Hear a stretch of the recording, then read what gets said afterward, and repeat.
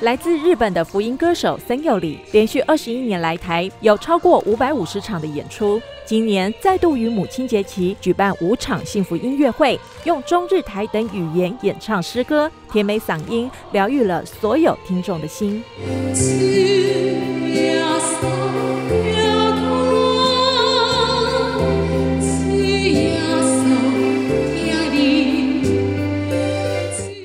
身为日本前 NHK 电视台歌手森佑里，在阪神大地震中失去了胞弟，在台湾发生九二一地震时，立即自费来台，用歌声和自身的生命经验抚慰灾区民众。台湾的中部的普里的，在台湾的呃普里有一个九二一大地震，在那个时候，我一听到地震，我就赶紧过来。その時歌ったのがきっかけで。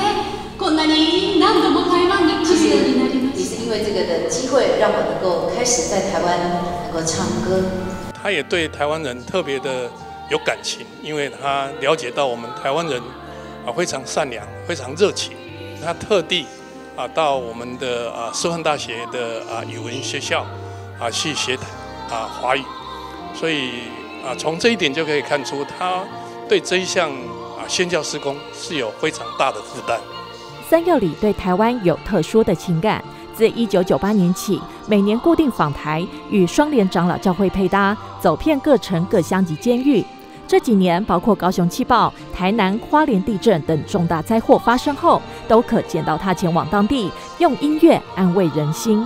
他一边在唱歌的时候，一边用他的肢体语言去拥抱我们的听众或是我们的朋友的时候。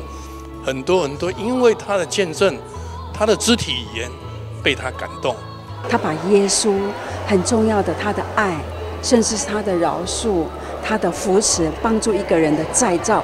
我觉得这么短的时间里头，他可以很精准的传达出来。我觉得这个是，这个是有果效，而且呢很吸引人，而且他又长得这么的美。清亮的歌声轻易穿透人心。也伴随着台湾成为无形的支持力量。